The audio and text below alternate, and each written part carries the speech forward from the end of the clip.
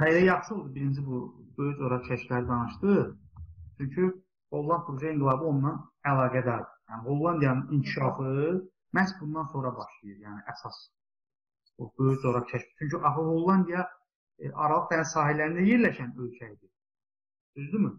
Hı -hı. Və 16-cı əsrdə e, böyük coğrafi kəşflərdən sonra deməli Hollandiya şəhərləri olan Antwerpenin, Amsterdamın və s. də bu şəhərlərin deməli önəmi artır dünya ticarətində. Deyir ki, dünya ticarətinin mərkəzinə Antwerpen şəhəri çevrilir.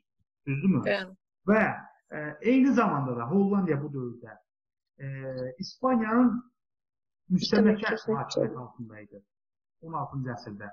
Deməli Hollandiya 16-cı əsrdə. Birincisi İspan zülmü altındaydı. Düzdür. İkincisi Feodal qaydaları. feodal qaydaları hökm sürürdü, amma feodal qaydaları daha çox cənub şərqində, ölkənin Bəli. cənub şərq hissəsində. Hissəsində feodal qaydaları hökm sürürdü. Şimal hissələrində isə artıq burjuaziya təbəqəsi formalaşmağa başlayırdı. Aydındır. E, deməli burjuaziya təbəqəsi bu dövrdə formalaşmağa başlayırdı. Və böyük coğrafi kəşflərin nəticəsində bu dəniz ticarəti Hollandları varlandırmışdı. Hollandlar deməli dəniz faytonçuları adı, adı vermişlər onlara. Dəniz faytonçuları. Küllü miqdarda xeyir götürüldü. Hollandiya həmin o dəniz ticarətindən. Elə ki, malları Holland gəmiləri aparırdı ora bura. Ən yaxşı gəmi düzəldənlərdir bu vaxtlar.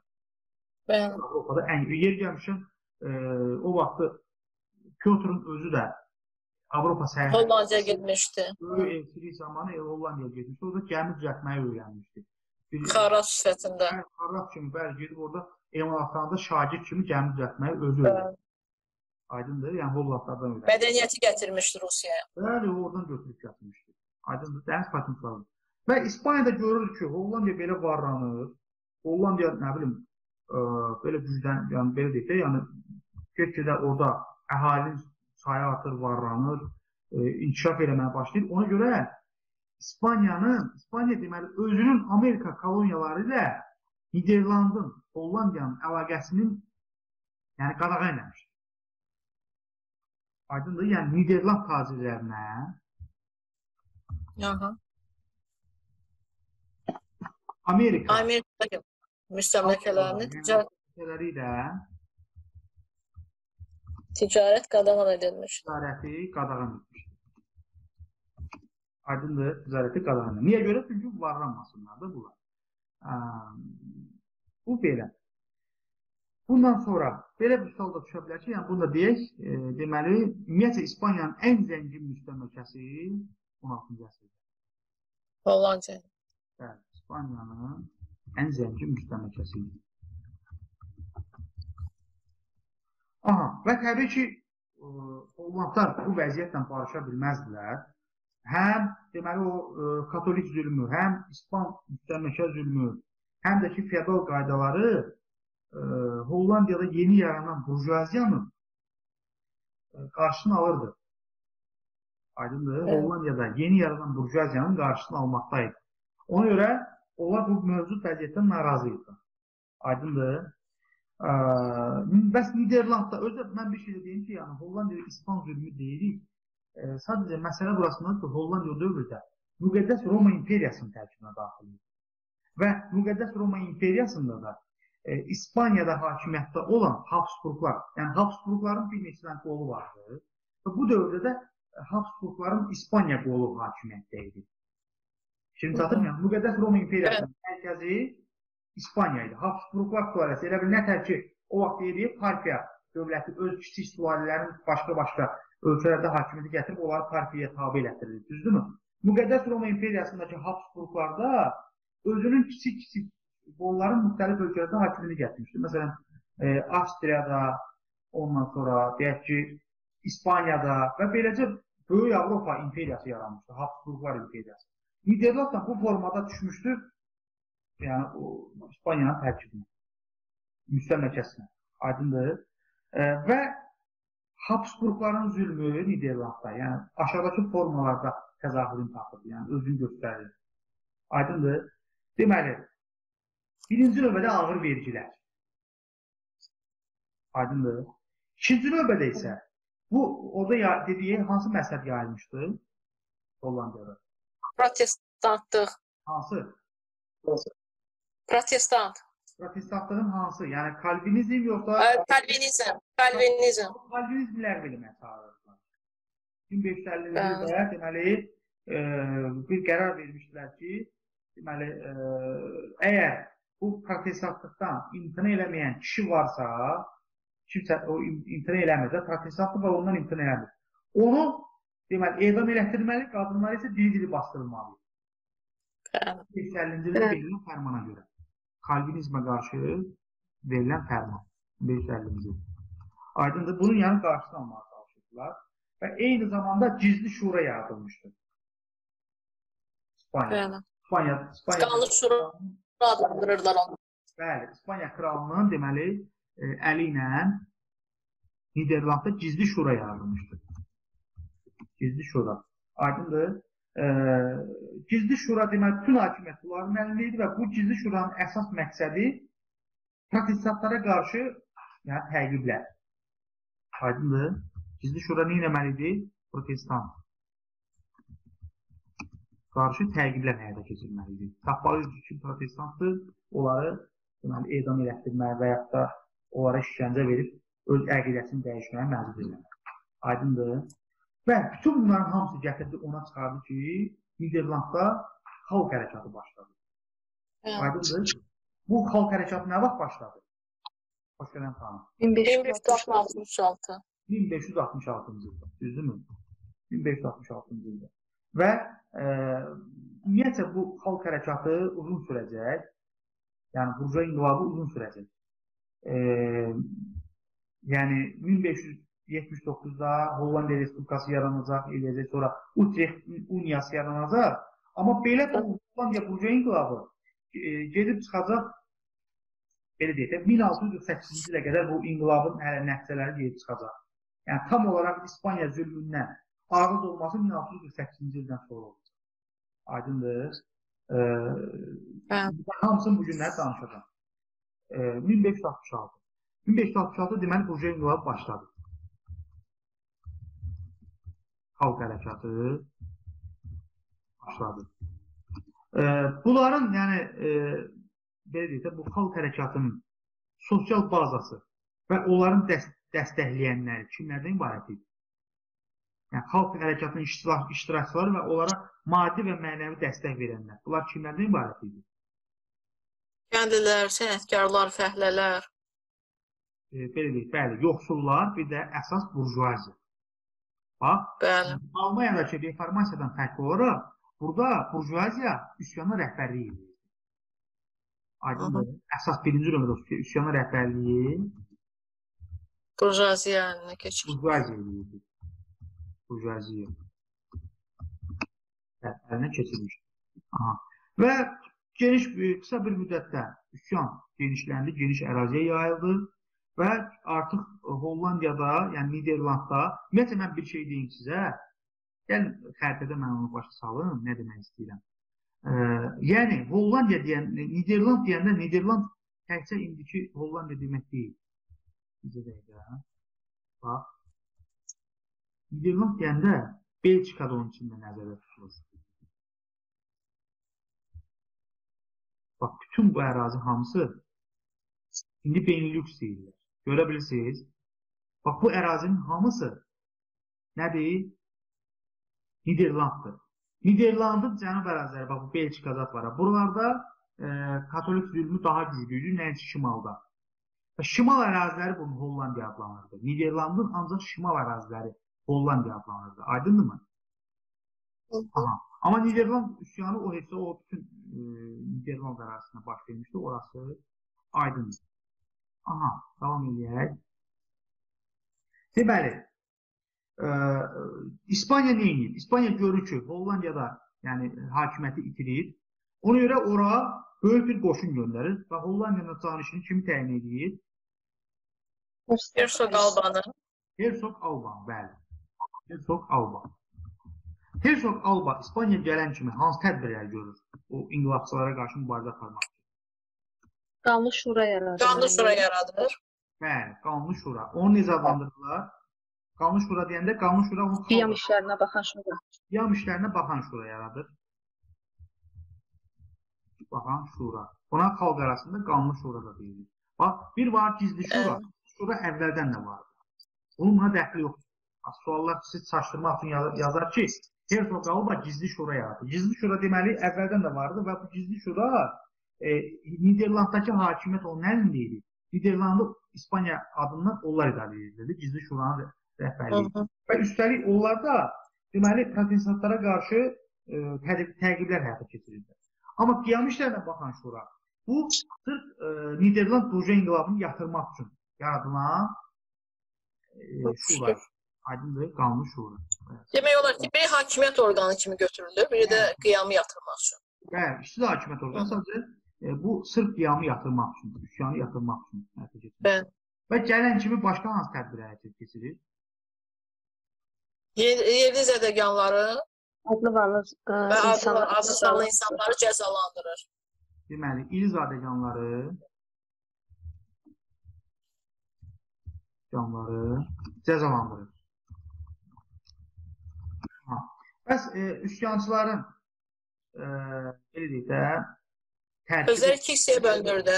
Meşə gözləri, Bəli. dəniz gözləri, göz deyəndə Dəniz gözləri. mənada göz deyil. Göz e, Gö- Niderland- göyezenlər. Bəli, Niderland sözüdür. Göz. Aydındır. Göz yəni bizim bildiyimiz göz yox. Sadəcə bu Niderlandca göz səfil deməkdir. Kasıb səfil. Aydındır, yadınızda qalsın. Göz sözünün mənası səfil. Yəni bunu belə deyəcək, meşə səfilləri, dəniz səfilləri. Yəni, meşə gözləri, e, bir də dəniz gözləri. Aydındır. Meşə gözləri və dəniz gözləri. Və e, dəniz gözlərinin tərkibi kimlərdən ibarət idi? Dənizçilərdən də. Dənizçilər də balıqçılardan ibarət idi. Aydındır. Çox. Aha və həmçinin inqilaba e, Niderlandlılar, burjuaziya, kimlər ki e, varlı idi, onları yəni onlar da güclü kömək edirlər, güclü pul buraxırlar və bütün Niderland birləşmişdi İspan işğalçılarına qarşı. Aydındır. Və Fransız bu zülmünə nəticəsində get-gedə Niderland inqilabı böyük xarakterlər almağa başladı. Yəni artıq kəskin xarakter almağa başladı. Və nəticədə 1572-ci ildə dəniz gözləri o qədər gücləndilər ki, Neynədilər? Bril limanı Bir limanı. Tutulur. Bril limanı tutulması. Bu nəyə səbəb oldu? Üsyanın başlanmasına. Şimalda E, Hollandiyanın şimalında. Bayaq dedik cənubunda, bu Şimalda. başlanmasına səbəb olur. Bəli. 1566-cı ildə o cənubda başlamışdı. İndi isə ə, şimalda başlayır. Aydındır. Ə, və ə, həm də ümumi üsyanın başlanğıcı olur. bu. Bril limanı tutulan milli üsyanın başlanğıcı olur. Və bundan sonra, bu tarixdən sonra Hollandlar kilsə vergisi vermirlər və üstəlik hücum edib kilsədə monastırlara məxsus torpaqları bir tutmağa başlayırlar. Həmçinin feodal qaydaların yerinə yetirməkdən boyun qaçırırlar. Bəli. Aydındırmı? Yəni bax bu artıq görürlər ki, üsyan güclüdür. Bir liman tutulub, ölkə dağılıb, belə deyək də, yəni dağılıb deyəndə, yəni oradakı təbii ki, İspanların idarə etmə sistemini nəzərdə tuturam mən. Və e, bundan da ruhlanan kəndlilər, əhali, yəni kəndlilər e, onda bir vergisi verməyə dayandırırlar. E, kilsə və monastırlara məxsus torpaqlar tutmağa başlayır. Bir də feodal qaydalarını yerinə yetirməkdən imtina eləyirlər. Yaxşı, e, e, Tüzərə xanım, siz mənə deyin görün. Niderland inqilabı, yəni başlayan kimi şimal əyalətləri ələ keçiriləndən sonra e, orada o əyalətləri idarə etmək üçün kim seçilir? O əyalətlərin Vilhelm. Şimal əyalətlərin hakimi. Oranlı Vilhelm. Bəli. Vilhelm seçilir. Oranlı Vilhelm seçilir. Və e, bu mübarizənin gedişində hansı tədbir hələ keçirir? Yəni hansı tədbir həyata keçirir? Mübarizənin gedişində. Bax, geri qayıdıram. Demişdik ki, e, üsyançıların tərkibi kimlərdən ibarət idi? Meşə gözləri, dəniz gözləri, düzdürmü? Onlar kimlərdir? Kasıblar. Və biz də demişik ki, üsyana həm də burjuaziya rəhbərlik edir də, düzdürmü? Oranlı Wilhelm də ora gətirən kim idi? Burjuaziya idi. Sizcə burjuaziya, o kapitalistlər də belə deyək, yeni yaranmış kapitalistlər, meşə gözü səfirlərə, kasıblara inanardılar, inanmazdılar. İnanmazdılar İnanmaz. təbii ki. Onlarla bunlar ayrı-ayrı təbəqələr, sadəcə ümumi məqsəd uğrunda birləşiblər. Həm burjuaziya, həm kasıblar da belə deyək, o səfirlər. E, və ona görə onlara inanmadıqlarına görə yeni ordu yaratmağa başlayırlar. Muzlu ordu, deməli Oranlı Wilhelm muzlu ordu yaratmaq istəyir. Amma bu muzlu ordu, yəni muzlu ordu demək ki, pulun verib döyüşün. Muzlu ordu e, özün doğrultmur. Aydındır. Muzlu ordu özünü doğrultmur və yenidən e, dəniz gözləri, meşə gözləri, bax bu qoşun hissələrindən, yəni bunlardan istifadə etməyə başlayırlar. Və e, İspaniya təbii ki, hələ də əl çəkmirdi. 1574-cü ildə onlar Leydin şəhərini mühasirəyə alırlar, amma Leydin şəhəri özü Hollandiya mən bir şey deyim sizə ki, Hollandda e, dənizdən aşağı yerləşir Hollandiya. Və o Hollandda dənizi bəndlər çəkərək, dənizi deyək ki, ram eləyərək o şəhəri qurublar. Yəni sıfırdan şə ölkə yaradıblar özlərinə də, bunu belə deyək. Dənizi quruda quruda, dənizi geri çəkə-çəkə. Bir isə şəhərlərdə bunlardan bəndlər var, indinin özündə də. Dambalar qoruyur da, yəni şəhəri dənizin suyundan qoruyur dambalar. İndinin özündə bəndlər var. Və e, 1574-cü ildə Leydin şəhəri mühasirəyə alınanda Leydin şəhəri. Leydin şəhəri mühasirəyə alınanda həmin bu e, şəhərin mühasirəsinin, yəni ki, şəhərin müdafiəçiləri görürlər ki, şəhəri qoruya bilməyəcəklər, həmin o bəndləri uçururlar. Hansılar ki, dəniz dənizdən qoruyur da o şəhəri. Uçururlar və e, su gəlir, İspanları batırır. İspanları da batırır, elə o şəhərin özünü də batırır. Aydındır? 1574-cü ildə. E, sonra e, amma buna baxmayaraq 1576-cı ildə İspanlar haranı tutub dağıdır? Antwerpen şəhərində. Antwerpen şəhəri. Yəni görürsüz ki, hələ İspaniya təslim olmaq istəmirlər.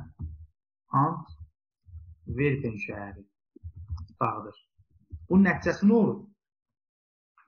Bu şəhər tənəzzül edir müəllim. Hə, bu dövrdən sonra bu şəhər tənəzzül edir. Amma, amma eyni zamanda bu, bu hadisədən sonra, bu hadisədən sonra hiddətlənən e, Cənub əyalətləri də üsyana qoşulur. Aydındır? Yəni bu şəhər bu şəhər dağılandan sonra sırf Cənub əyalətləri də, ki Belçika falan bax o ərazilər ki vardı, onlar da üsyana qoşulurlar. Aydındır? Cənub Aha, qoşulur. Aydınmı? Və e, amma buna baxmayaraq Cənub əyalətlərində biz deyirik ki, üsyan uğur qazanmır. Niyə görə uğur qazanmır? Niyə görə uğur qazanmır? Ona görə uğur qazanmır ki, ona görə uğur qazanmır ki, Cənub zadəganları İspanların tərəfini tuturlar. İspanların tuturlar. Aydındır, yəni Cənub zadəganları İspanların tərəfini tuturlar və e, burada kimsə nəsə çəkdi, yoxsa yox? Qarışdı belə bir şey. Hə. Deməli, Cənub zadəganları İspanların tərəfini tuturlar və özləri həmin o Cənub əyalətlərində baş vermiş üsyanı yatırırlar. Şimdi çatdı mı? Bəli müəllim. Yəni e, Antwerpen şəhərinin dağıdılması Cənub əyalətlərində üsyana səbəb oldu. Deməli biz bayaqları dedik ki, A- Antwerpen şəhərinin tutulmasından sonra 1500 daha doğrusu dağılmasından sonra 1576-cı ildə Cənub əyalətləri üsyana qoşuldu, amma Cənub əyalətlərində zadəganlar üsyanı özləri yatırdılar. Niyə görə yatırdılar? Çünki onlar e, yəni İspan zülmündən qorxurdular. İspan zülmündən qorxurdular, aydındır.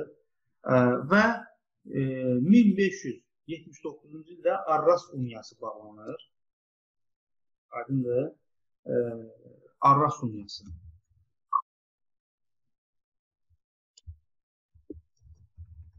Arras Uniyası neçənci ildə? 1579-cu 79.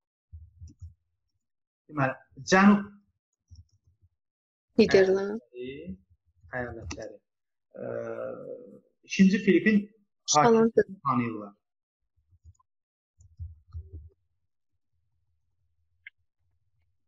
Tanıyırlar.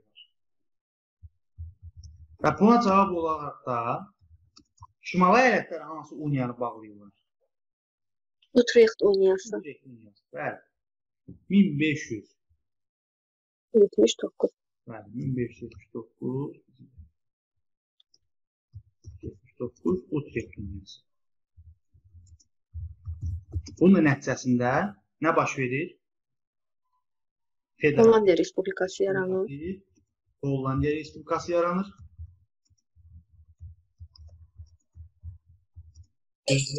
7 şimal əyaləti Birləşir. birləşir.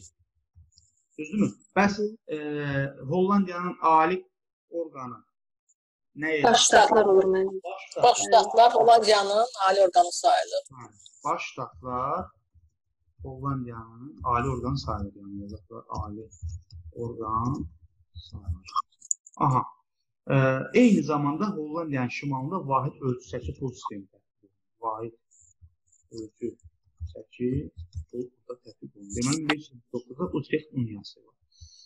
Aha, bu da belə. E, bəs yeni dövləti kim idarə etməlidir? Burjuaziya və əyanlardan ibarət Milli Şura idarə etməlidir. Hollandiya bundan sonra yəni İngiltərə və Fransadan dəstək alır və İspaniyaya qarşı mübarizəni davam etdirir və nəhayət e, məhz elə buna görə də yəni o dövrdə təbii ki Yelizaveta hakimiyyəti idi. Ona görə də e, Hollandlara verdiyi dəstəyə görə də İspaniyanın qəzəbinə gəlir İngiltərə. Buna görə də 1588-ci ildə La Manche döyüşü baş verir. Düzdürmü? Hə. La Manche döyüşü nəticəsində e, İspaniya məğlub olandan sonra İspaniyanın dəniz gücü sarsılır və məcbur olur e, yəni barışıq imzalamağa. Yəni, ondan sonraki mübarizə artıq Hollandiya üçün daha asan olur, düzdürmü? 1609-cu ildə e, barışıq imzalanır bunların arasında. 1609 barışıq. Bu barışığın nəticəsində e, yəni İspaniya Şimali Niderlandın faktiki müstəqilliyini tanıyır. Şimali Niderland müstəqillik. İkincisi isə Cənubi Niderland. Cənubi Niderland İspaniyanın zülmü altında qalır. Niderland İspan zülmü altında qalır. Onlar elə yaxşı olur. Deyən vardı. İspanla tərəfini satır. İspan zülmü altında. Və 12 il müddətinə bağlanır bu müqavilə. 12 il. Aydındır. 12 ildən sonra e, o 30 illik müharibənin gedişində, yəni Avropada 30 illik müharibə baş verir o dövrdə. 18-dən 48-ə qədər və bunun gedişində İspaniya Hollandiyaya yəni, müharibə eləyir. 21-48-ci illərdə 1600 21 1648-ci illərdə. Və bu müharibənin nəticəsində e, yəni bu müharibənin gedişində yəni Fransada Hollandiyaya kömək eləyir və nəticədə e, Vestfaliya. Vestfaliya. Konqresi. Hollandiya ilə bağlı deyil ha. Vestfaliya ümumiyyətlə o, e, 30 illik müharibənin nəticələrinə aid konqresdir və Vestfaliya sülhü bağlı. O Vestfaliya sülhündə sadəcə Hollandiya ilə bağlı bəndlər. İkinci adım yəni bəziləri ki, Vestfaliya İspaniya ilə Hollandiya arasında bağlanıb sırf o, bu, bu yəni bu iki dövlət. Xeyr, o dövrdə bütün Avropa müharibə eləyirdi, yəni. Bu da elə reformasiyanın davamı idi mən deyərdim ki. Katoliklər Onda müəllim kimdən kim arasında bağlanıb? İspaniya ilə Hollanda.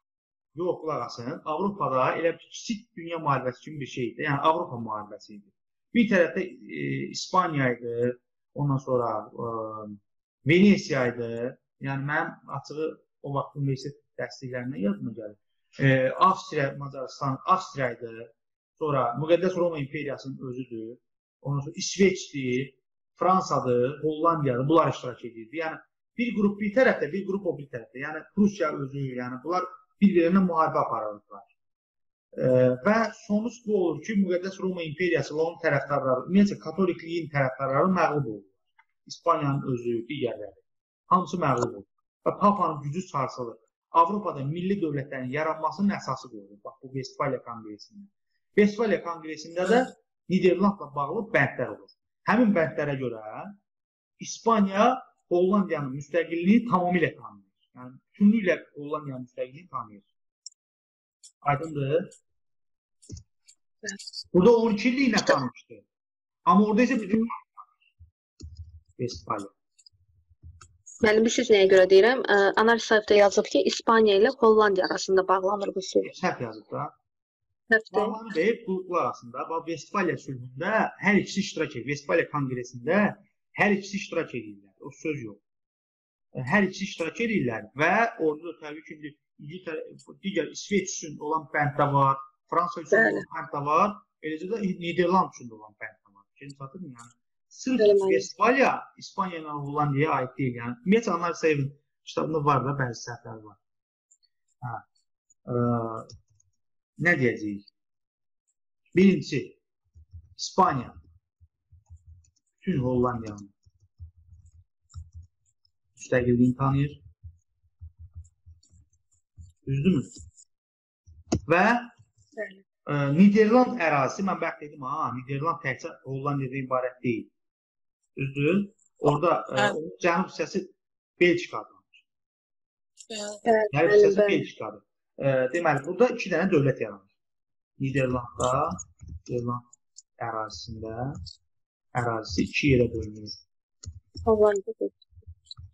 Ə, Birincisi Kalviyeist Hollandiya və Katolik Belçika. Bəli, Hollandiya və Belçika. Aydındır? Və bütün bunların nəticəsində, bunların nəticəsində ə, Niderland burjuva inqilabı, yəni üm- ümumiyyətlə bütün bu inqilabların nəticəsində ilk dəfə burjuva respublikası yaranır. Bəli. Niderlandda, Niderlandın şimal hissəsində İspaniyalılarına son qoyulur və Avropanın kiçik bir hissəsində feodalizm quruluşu. kapitalizm quruluşu ilə əvəz olunur. Aydındır? Bir də müəllim, kitabda yazır ki, bu sülhün nəticəsində Almaniyada dağınıqlıq qətiləşir. Bax, Görürsünüzmü? Yəni görürsüz, yəni mən deyəni gəlib çıxırsınız da.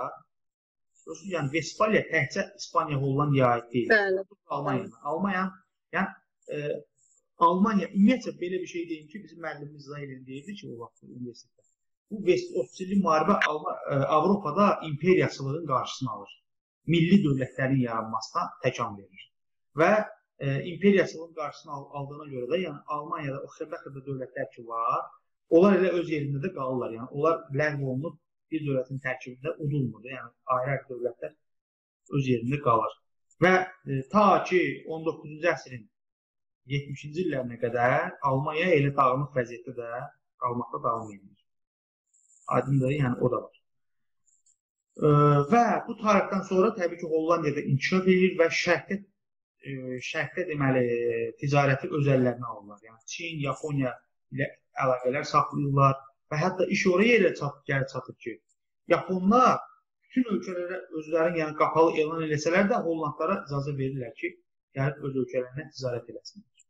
Bu vəziyyətə qədər gəlib çatır. Bundan sonrakı artıq e, bizim yeni tarixdir. Ona görə ora mən girmirəm. Vəssalam, bu qədər. Hollandiyada bu qədər. E, kimin nə sualı var? Müəllim.